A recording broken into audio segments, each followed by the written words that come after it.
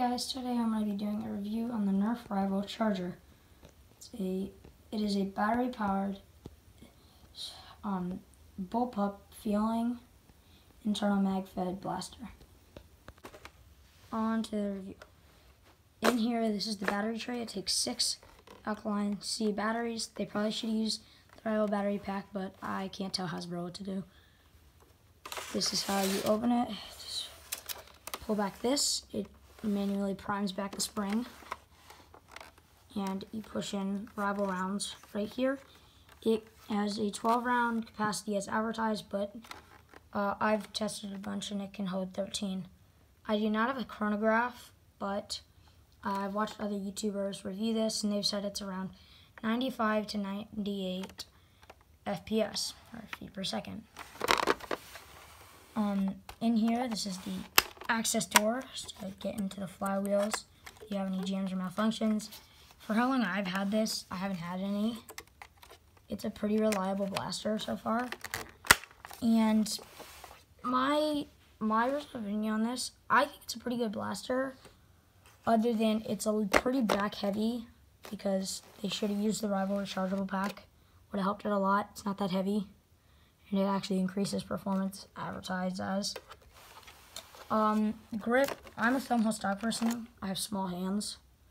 Um, and it's just a clean, nice grip. Rev sounds like this. So, yeah.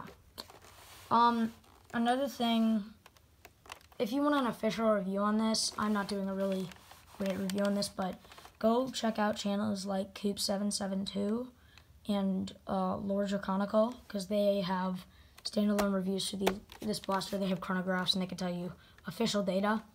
Um, but I've seen Coop 772's review, and I, uh, I do agree with him. They did a lousy job on the paint job, but like he said, that's not really a viable reason not to buy it. One thing that just makes me a little bit annoyed that Hasbro didn't center the barrel like this. That That's going to trigger a lot of people's OCD, obviously. um, but other than that, it's a pretty clean blaster. Uh, rival style rail up here if you want to mount your rival red dot. Honestly, it's not really that worth it to buy one. Just get one off eBay. Just get a fake one off eBay probably. Um, yeah, this is the, that's the end of this video. That's the review of the MXX 1200 or the Nerf Rival Charger. Thanks for watching. I'm sorry, I almost forgot to uh, add one more thing. Down here, this is the safety on the Nerf Rival Charger. When you push it back, you can't rev it. Push it forward, then you can. Thank you for watching.